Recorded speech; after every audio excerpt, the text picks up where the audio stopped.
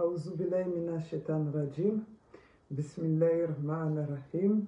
الحمد لله رب العالمين اللهم صل على محمد وعلى محمد كما صليت على إبراهيم وعلى إبراهيم وبارك على محمد وعلى محمد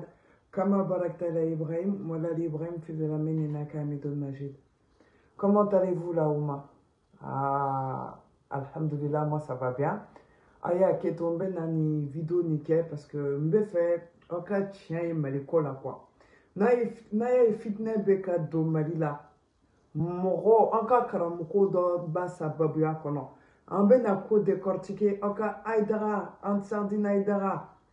han ka janfa lajɛ ka lase maliyɛnw ma ale de bɛ ka maliyɛnw di fagaliw ma ale de bɛ ka maliyɛnw di tubabuw ma ale de bɛ ka maliyɛnw di farajɛw ma hali ni ko ko kɛra mali la ayidaga bɛ boli a da tɛ y'a kuma kɔnɔ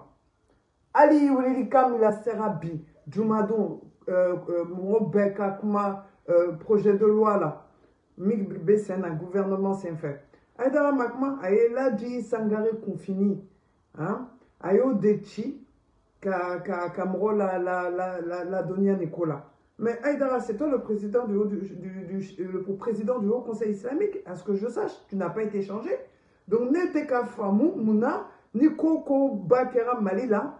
i b'i fori ka bɔ yen i bɛ mɔgɔ wɛrɛ ci comme si nafa t'i la quoi mais n bɛ fɛ k'a fɔ maliyɛn ye nafa t'a ye daga la a bɛɛ ni ala cɛ ala ka kɛ n seere ye fana maliyɛnw jugu don bi maliyɛnw jugu don sini wa ayidaga de ye mali ci n bɛ na preuve yɛrɛ o la aw yɛrɛ ka ko ma jɔ e bi an bɛ na don kungo o kungo min bɛ mali la ayidaga nɔ don walayi bilayi talayi n ye an balaka dɔ ka kumakan de ta k'a lamɛn ka lamɛn ka lamɛn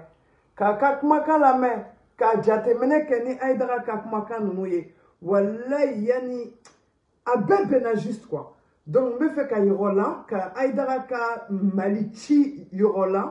mɛ yanni an k'a daminɛ n b'a daminɛ ni an tardini mɔgɔ ye an tɛ banini kɛ an tɛ banini na aw ko dalu contre dalu ni dalu bɔ bolo aw bɛ aw ka kunfi cɛ a malidɛmu cɛ yaya konate la a ka bɔ a kan jaabi ni nkalon don mɛ kuma minnu bɛna fɔ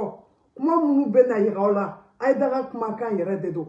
n bɛna aw ka a ka jafa yira aw la kamisa aw yɛrɛ bɛna faamu donc yanni an ka daminɛ n bɛ kuma ansardine mɔgɔw fɛ an bɛna mohamed elmadani ala ka ɲina su la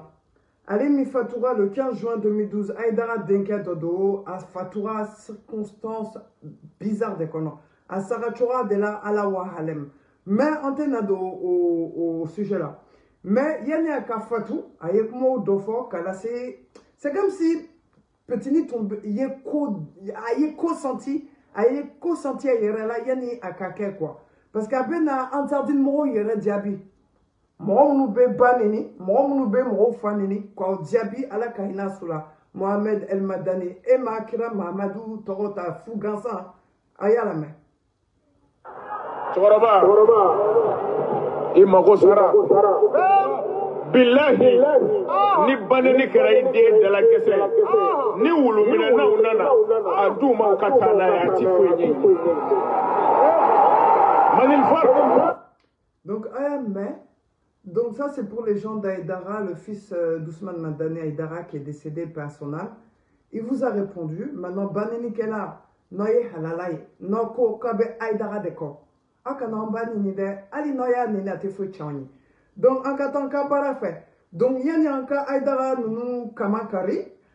an bɛ na ni solo tamani yɛrɛ ye solo tamani ko solo zikiri solo pardon astafurla ye solo tamani ka yafa ma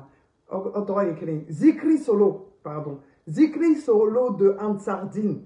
ale fana ye kumaw dɔ fɔ ayidara kan n bɛ na yɔrɔ la bi kolokolo kayidara sɛtanɛmɔgɔ dɔ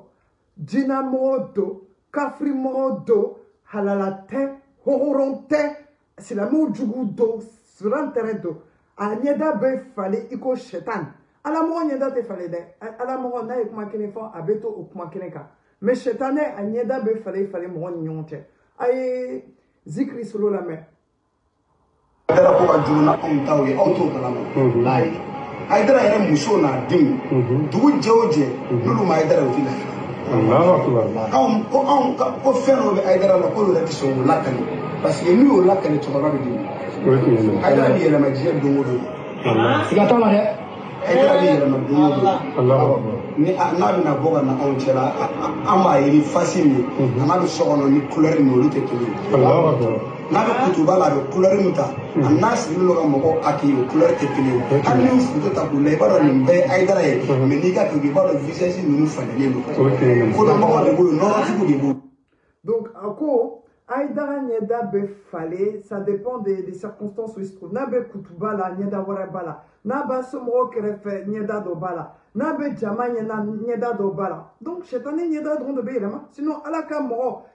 kira salala alaihi wasallam ɲɛda kelen tun b'a la ɲumanya kuma ɲɛnama ladirikan mais ayidara an ma fosi a la donc euh, zikiri solo a confirmé déjà qu'ayidara il est dérangé dans sa tête donc maintenant an bɛ na n'an ka partie la plus importante ye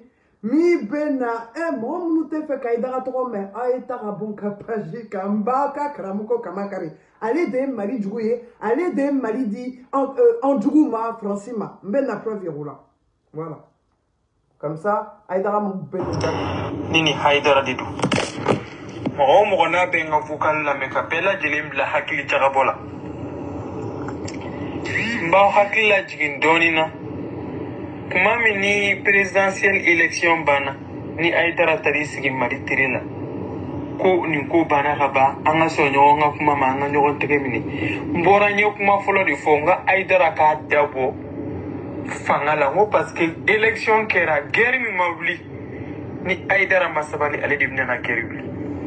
ni mɔgɔ mɔgɔ bɛ n ka vokalu lamɛn a ye taa vokali ɲini a bɛ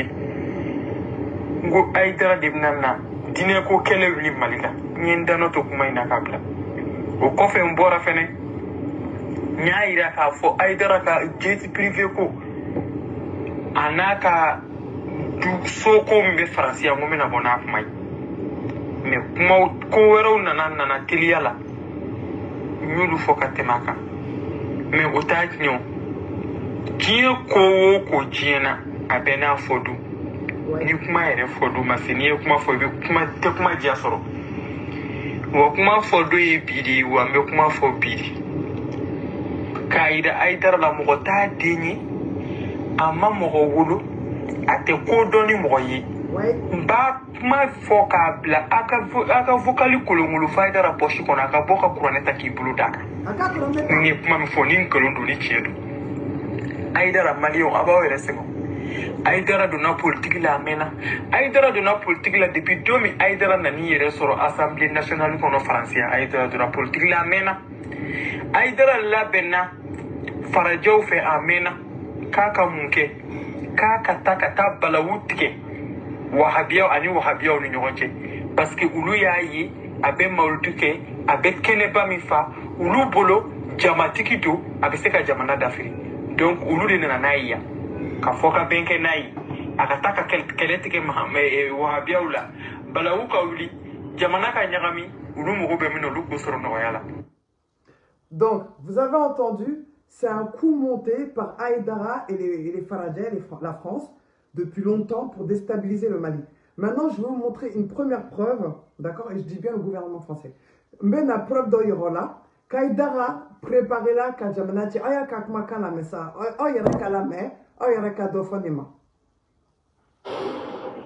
u ka minɛnw kuru ka nimisa o de ka ɲi n'o tɛ akisi kelen akisi kelen mali kɔnɔ yan wahabiya du t'i to yan misiri t'i to yen misiriw tɛ o kafiri sow de don a bɛɛ cili dagalen don u bɛɛ fagalen Voilà, il a bien dit u bɛɛ fagali dagali don. Bon, a tɛgɛra wagati la. Donc, il dit qu'il faut détruire les mosquées des Wahhabiens, il faut tous les tuer. Donc, on bɛna an balimamuso ka kuma tɔ la fɔri aw yɛrɛ bɛna faamuya o a ye daga k'a plan n y'a bɛrɛ pepago y'aw ka se ka faamuyali sɔrɔ inshallah o. o de sara kɛra jɛti prive ye o de sara kɛra faransi so ye yan an saridini ka bɔ k'an ka kuma kɔntrɛri fɔ o mɔgɔ tɛ yen min bɛ se ka nin kuma in bi nin kuma in talen don a su de kɔrɔ mɔgɔ si tɛ se ka nin kuma in labi ayidara b'a dɔn bɛ kan ka min fɔ n'a ye jamana fereke kuma min an b'a la ka ɲɔgɔn faga ka ɲɔgɔn boso a bɛ sɔrɔ ka jate piribe ta ka n'i cu a ka so kɔnɔ yan anw minnu bɛ vila faransi u b'a kalama ka u ɲininka kɛrɛnkɛrɛnnenya la est ce que so faransi so yanni nɔ est ce que ayidara bɛ se ka a impôt sara ɲininkali bɛ yen kelen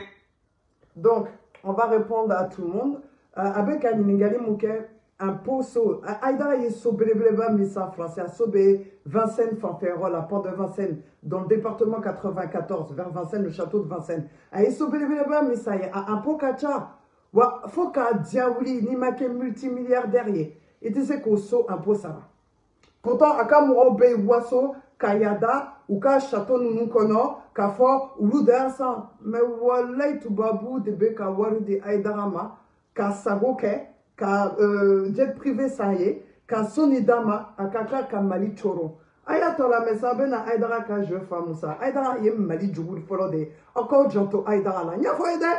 ala bɛ tila ka cɛw yɔrɔ la kelen kelen inshallah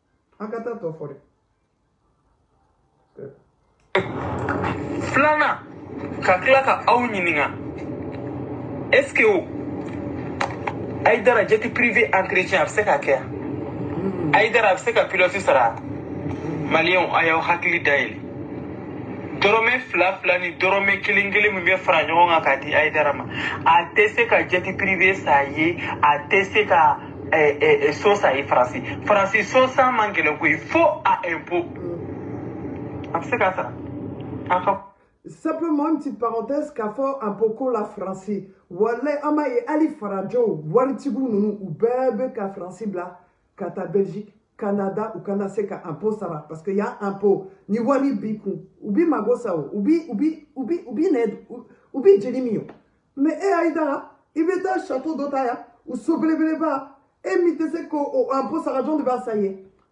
tubabu tubabu de bɛ ka i sutura o kɔnɔ mɛ ala b'i wo i ba inshallah an ka taa tɔ fɔlɔ ne ye kuma min fɔ ni nkalon na ka bɔ ni kuranɛ a k'i tɛgɛ dafa ko nkalon don a ye farajɛw n'i ye farajɛw ka fɛn minɛ i b'a baara de kɛ olu ni farafin tɛ kelen ye dɛ o jɔ ma da diɲɛ na n'i y'olu ka fɛn minɛ i b'a baara kɛ depa b'i dogo k'a kɛ a bɔra kɛnɛ kan sisan k'a kɛ dɛ ninnu ko k'u bɛ n'u ka eh, eh, eh, manifestation kɛ a y'a ta karaba ka bɛn pour que pourquoi k'olu t'a kase hali tubabu b'a dɔn bi ko jama t'i bolo ko hali k'i yɛrɛ lafiya i kɔ de bɔra fiɲɛ na parce que jama min b'i bolo tiɲɛ tugu de tun b'i kɔ mɔgɔ minnu bɛ tiɲɛ nɔfɛ olu de ser'i ma donc i ye tiɲɛ bila olu bɛɛ lajɛlen y'i bila maliyɛnw a y'aw ɲɛ da yɛlɛ mun bɛ tubabu bilen se ka taa medayi ta k'o nɔrɔ ale disi la a ye mun baara kɛ farajɛ la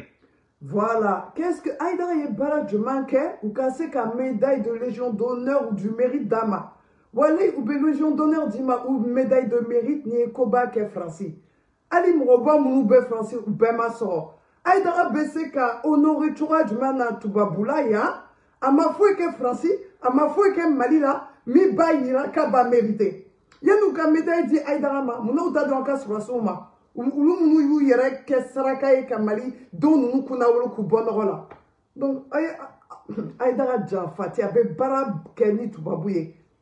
o de la a ma sɔn ka kutuba kɛ euh, sur la loi de, du genre la an ka taa tɔ fɛ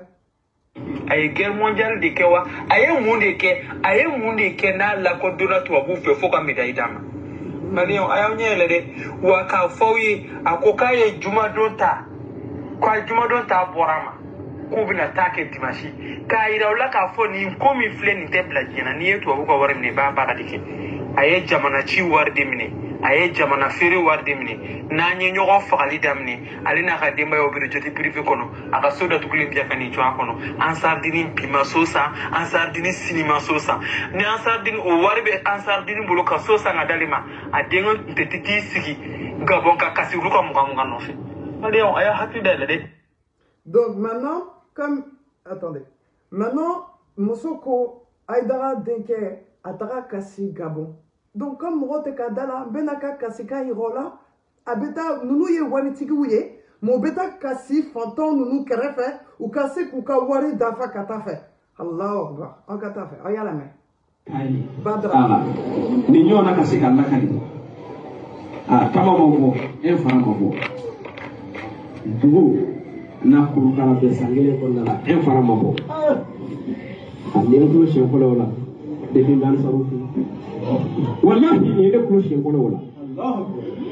Alisa dugu la section section dugu kɔnɔna la ka dɛsɛ ka mugan sara ala ka silamɛya dɛmɛli la ansaruw fɛ nin ye badara kulo siɲɛ fɔlɔ ye o la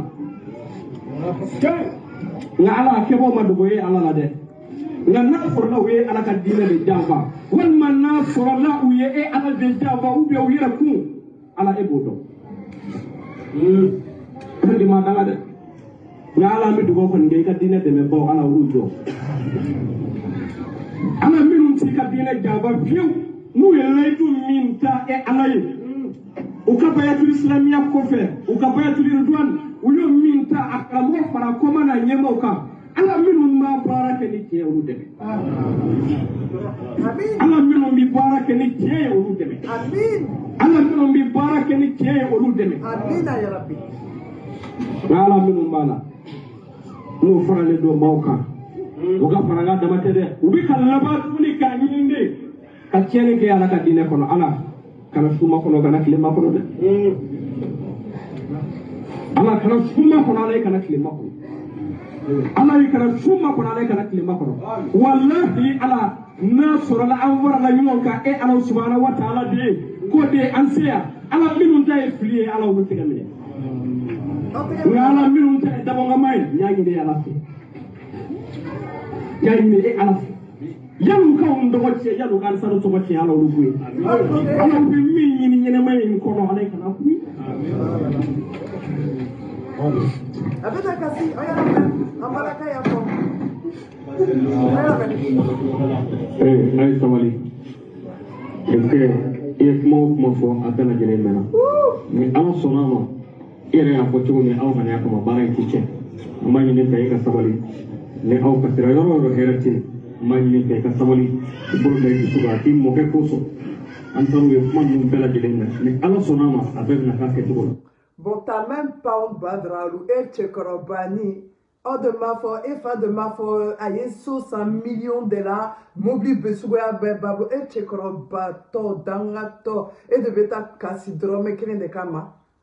han hali tɛ malo mun na i tɛ taa i fa deli dangatɔ n'i ma taa baara kɛ kasi ti bɔ o parce que i ye gosili de jɛ n'o tun ye busan ta k'i kama kari n'o ye kasili i tun b'a da bila ninnu ye fatɔw ka gɛrɛbu de ye ninnu tɛ ninnu fɛyala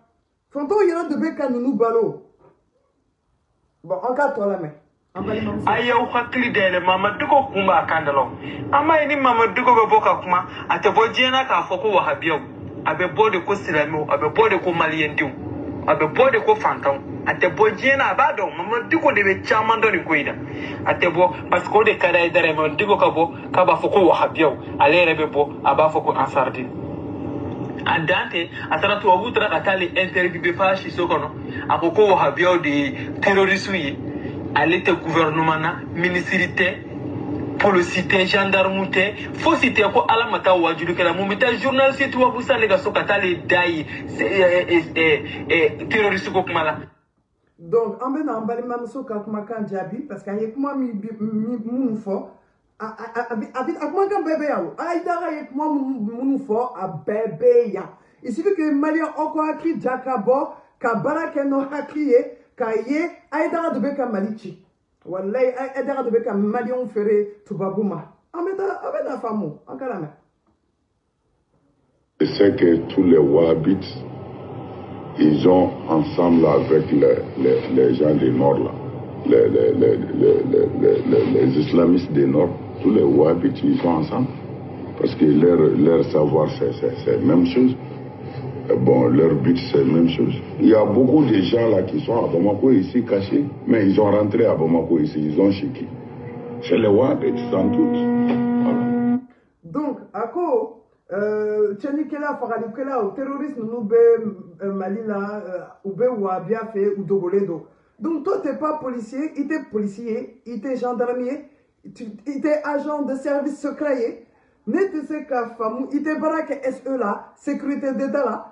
ne tɛ se k'a faamu karamɔgɔ bɛ se k'a sigi ka ka taa nkalon tɛgɛ a ka karamɔgɔ ɲɔgɔn kan kuwa n'i ma baara kɛ tubabu bolo e bɛ se ka taa nkalon tɛgɛ ta tubabu ɲɛ na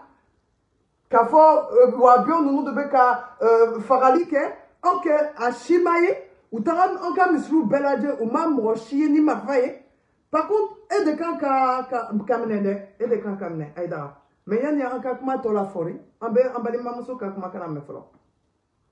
aw y'aw hakili dayɛlɛ dɛ wa n'aw hakili dayɛlɛ tɛ aw hakili dayɛlɛ minnu bɛ ka tugu a kɔ hali bi k'o kɔrɔ ko ansaridini n'a y'a balawu jugu min b'a bolo n'a y'a ju tigɛ a don don a ka avion a ka jeti piriye kɔnɔ a n'a ka denbaya don Bon, maintenant, on va écouter la, la preuve de ce qu'elle dit.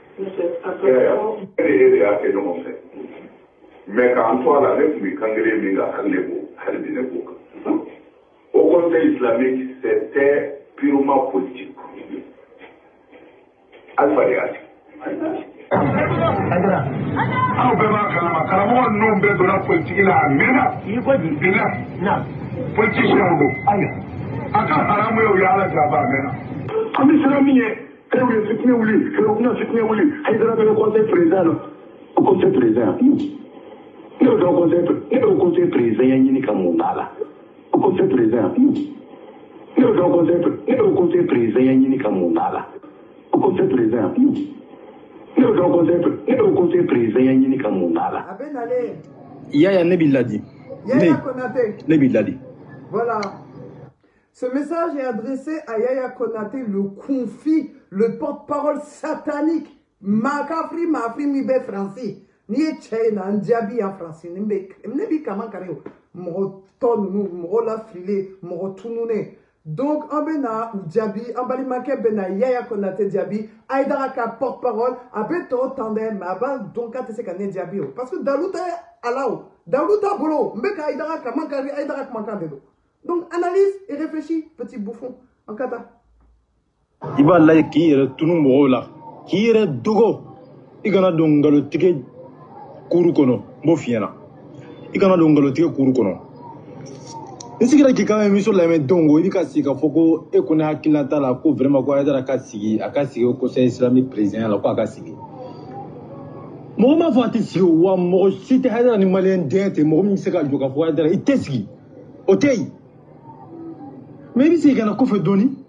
i bɛ se ka na kɔfɛ dɔɔni ka na a ka kumaw lamɛn ka na a ka kumaw lamɛn a delila ka mun de fɔ mɔgɔ minnu ye perezidan la a delila ka kuma jumɛn de f'u ma ko ton ye politikimɔgɔ de ye ton in sigi ale ti don a la politikimɔgɔ de ye ton in sigi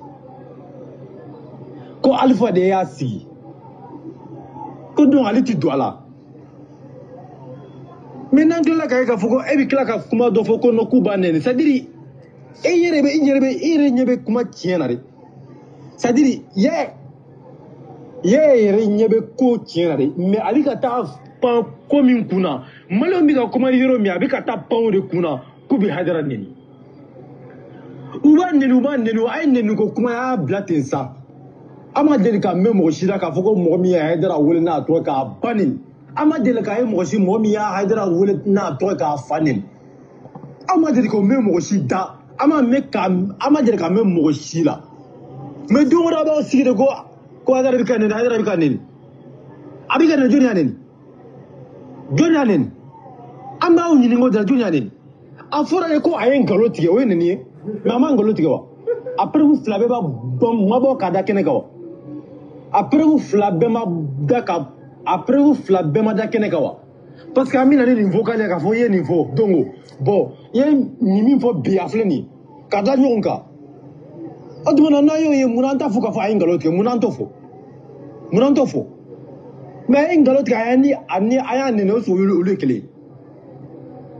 ale de bɔra kuma foyi tɛ yen a ma min fɔ o conseil islamique président la y'a dɔn parce que a yɛrɛ tun bɛ place nɔfɛ komi a ma place sɔrɔ dɔgɔyali foyi t'a ma dɔgɔyali min don kan bon n'a tilala k'a fɔ ko tuguni ko nin ka sigi ka nin ka sigi perezidanya la maliw ka se ka fɛn dɔ faamuya mɔgɔ de kan ka sigi perezidanya la mɔgɔ min mago tɛ partiko kɛlɛ la mɔgɔ min mago tɛ diinɛko kɛlɛ la k'a fɔ ko bi diinɛw kun kari ɲɔgɔn na mɔgɔ min mago t'o la a kan ka o de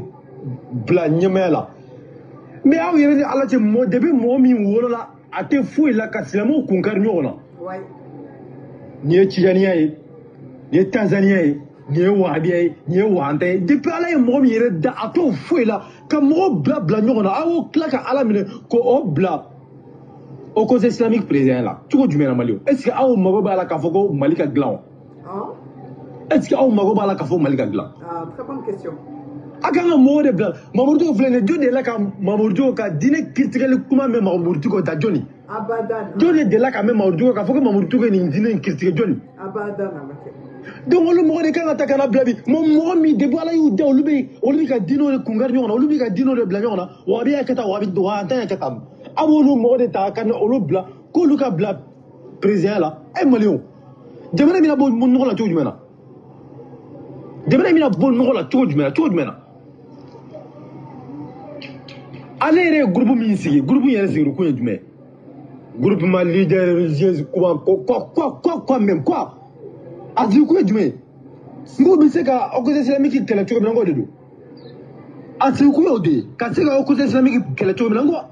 a suku ye de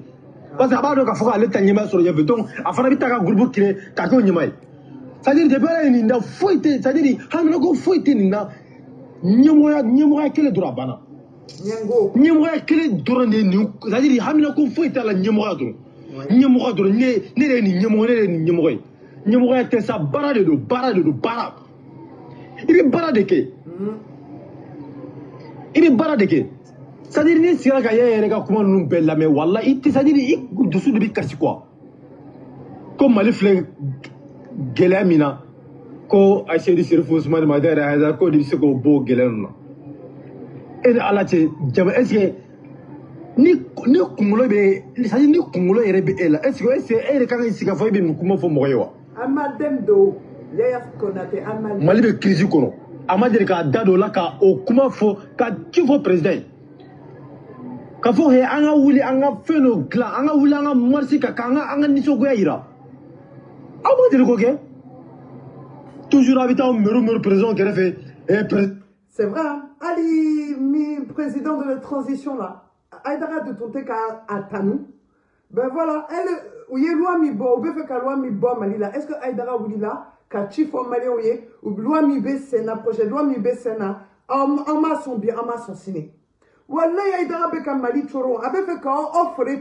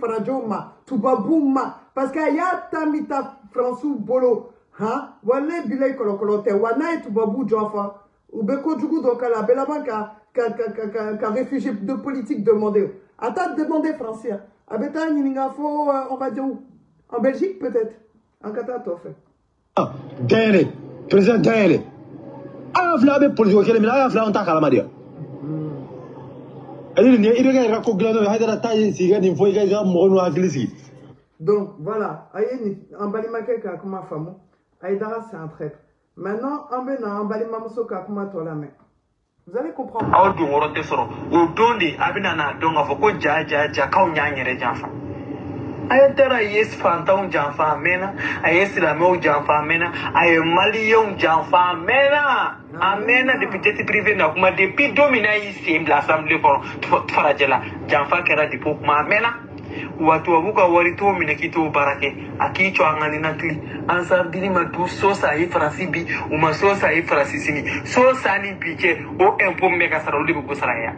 jeti privé min garilen bɛ o entretien olu de bɛ ko sara ya ale bɛ se ka pilote sara e sigilen bɛ mɔgɔ fantanw ka mugan mugan ni dɔrɔmɛ tan tan i bɛ mɔgɔw kɛ lagalagatɔ ye wa anw ka mali citɔ f'an su k'a d'i ma ordre la an b'a dɔn i bɛ nin bila i bɛ dɔ wɛrɛ ta o parce que n'i ye tubabu bolofɛn minɛ i b'a baara kɛ diɲɛ bɛɛ b'o dɔn i m'a fɔ ko i y'a bɔ vendredi la k'a bila dimanche la n balimaw a y'aw sigi aw ka hakili ma jɔ cɔ cɔ cɔ ayidara bɛ bɔ nin bɛɛ nin wageya in bɛɛ kɔfɛ ani min bɛ ɲɔgɔn na bi wageya ani jatigɛ ani misira kabilu bɔra k'a fɔ ko bɛ nin kɛ maliyɛnw bɔra ka ka kuma kɔrɔw se k'a tulo la k'a ta k'a sɔgɔ kɔlɔ kala la bi a sira ni jatigɛ de kama a y'a bɔ juma la k'a bila dimanche la wa n bɛ min fɔ aw ye ni ne don sa dɛ diɲɛtigɛ don o don ni mɔgɔ y'u dalajɛ k'u bɛ bɔ a ye daradi k'a bɛ boli ka taa dakari u ma bɔ a la a m'a kɛ sisan n'aw bɔra n yɛrɛ bɛ bɔ yen wa a bɛ bɔ kɛnɛ kan ka tɛmɛ nin bɛɛ kan parce que a ye fɛn de minɛ fɛn da jolima tɛ tiɲɛ kuma fɔ fo ka diɲɛ wuli wa a ye dara i tɛ tiɲɛ kan bi o ka jɛ an saridini cɛ n'a muso i tɛ tiɲɛ kan sini ni mɔgɔ talonna ka bɔ ka bi i bɛ wuli ni ni mɔgɔ kɛlɛla n'o y'i ta k'a pɛrɛn i bɛ wuli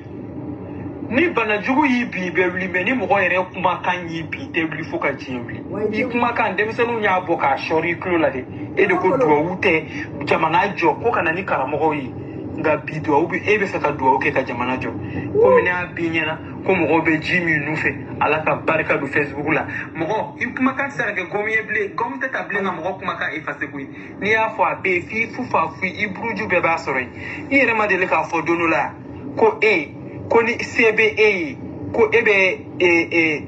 k'e b'i ka kasɛti bɛ yen parce que munna i b'o fɔ parce que kunun kuma ni bi kuma tɛ ka ɲɔgɔn sɔrɔ wa i dara i ka jate piribe n'i y'a minɛ o y'i ta de ye n'i y'i ka so minɛ o y'i ta de ye mɛ mali cili gala ka jɛ n'a ye an b'i kɔ de bɔ fiɲɛ la diɲɛlatigɛ don o don maliyɛnw k'a dɔn i ye den modɛli min ye a k'an bɛ siɲɛ wɛrɛ donc an y'a mɛn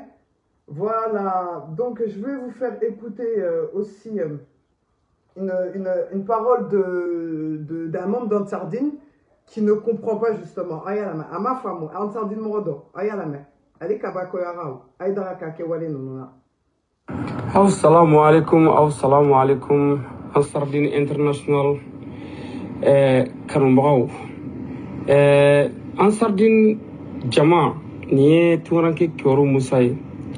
a ka di ala ye a ka di ne nin ye vraiment eh, kibaruya dɔ bɛ dugu kɔnɔ kibaruya in a tiɲɛ don wa nkalon don wa ne kɔni ma sɔrɔ k'o dɔn nka n b'a dɔn k'a fɔ ala tɛ se ka jigin ka mɔgɔ jaabi komi an saridi ni ala a n'a kira sherifu madani ayidara a tɛna na jaabili kɛ parce que ala don kira don an saridi ni mɔgɔw bolo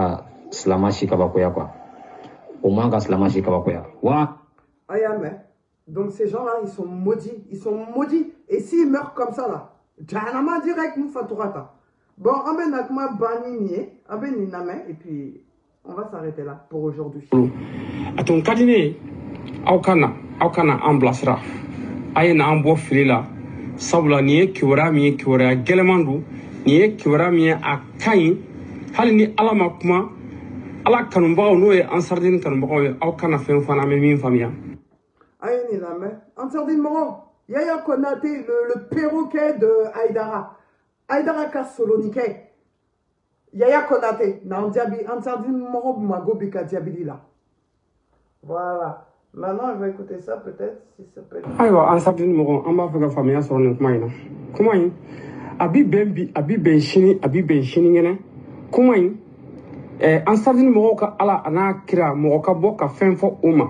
an saradini cɛ ma bɔ a muso ma bɔ a den ma bɔ maa si den kelen ma bɔ ka fɛn fɔ anw ɲɛna anw bɛ min faamuya jɔn k'i sin o bɛ kɛ fili belebele ye donc ayiwa an saradini mɔgɔw balon b'aw ka kan kɔnɔ anw kɔni anw tulo kɛrɛbu sigilen don an bɛ lamɛnni la a y'an bɔ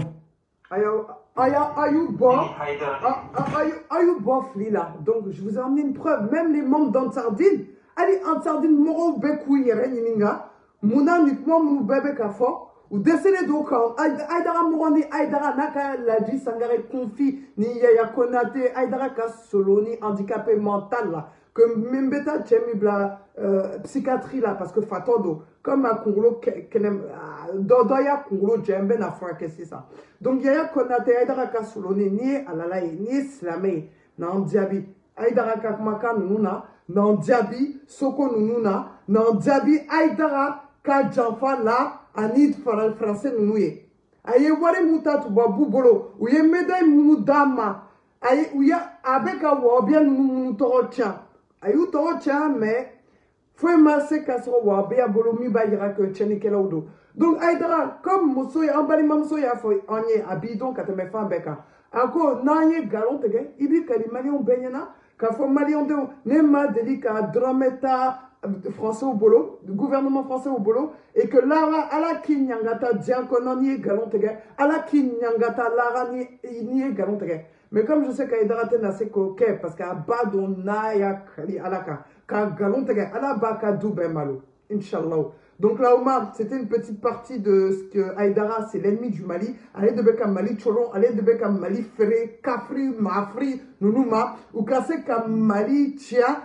comme ça ale fana n'a y'a ka niyɔrɔni sɔrɔ a kɔnɔ alhamdulila wa ni cɛni kɛra mali la an m'an balimamuso y'a fɔ cogoya min na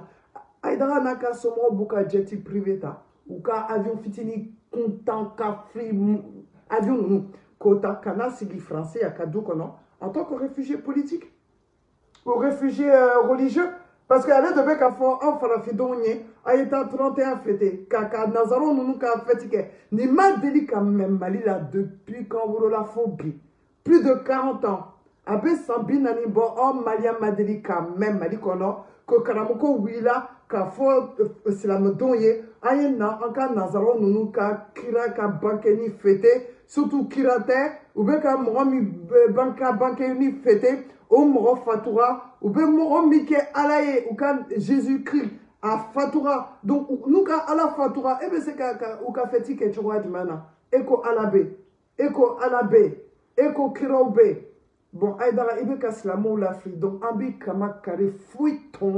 donc la famille en bob là hein, c'était une courte vidéo pour vous montrer la traîtrise d'Aïdara. Aïdara est l'ennemi des Maliens. Si que vous le comprenez, c'est mieux. Si vous ne le voulez pas, tant pis. Inch'Allah, là, il vous montrera la vérité tôt ou tard. Voilà, ala kashini kana dans madron. donc mabla ya allahumma salli ala muhammad wa ali muhammad kama sallaita ala ibrahim wa ali ibrahim wa barik ala muhammad wa ali muhammad kama barakta ala ibrahim wa ali ibrahim fil alamin innaka hamidun majid et c'est pour te dire au collectif trop c'est trop là euh, trop c'est shaitan là non ye chou dafale aye nan jabi abe kalo fla bombe ko ka jabili makono donc aw bɛ ka yira diɲɛ bɛɛ la k'a ye nkalontigɛla mɔgɔw de ye aw ye cɛw minnu ye aw dafiyalen tɛ aw ma mara ka ɲa aw bɛ ka ala sɔsɔ aw ye silamɛw jugu ye a bɔ antere asalamualeykum warahmatulahi wabarakatu